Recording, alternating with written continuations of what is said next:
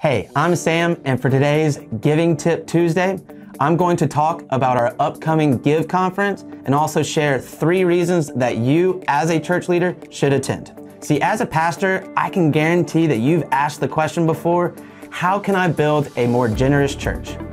This question can seem overwhelming, but it doesn't have to be. See, at the Give conference, you'll be equipped with the tools, resources, and knowledge that you will need to build a generous church. But what does that practically look like?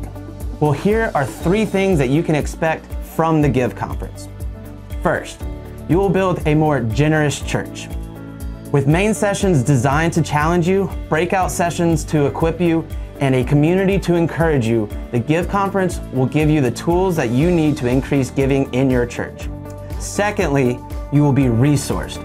See, at the Give Conference, you'll learn from pastors just like you pastors who have faced similar giving challenges and opportunities within a local church like yours.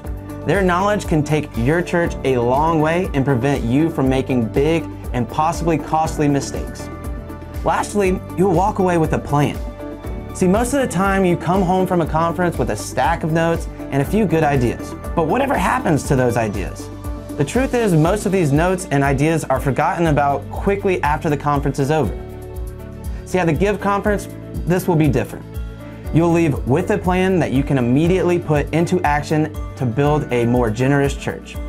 So join us in Augusta, Georgia this September 20th and 21st for our Give Conference. For more information and to purchase your ticket, visit giveconference.com. I can't wait to see you there.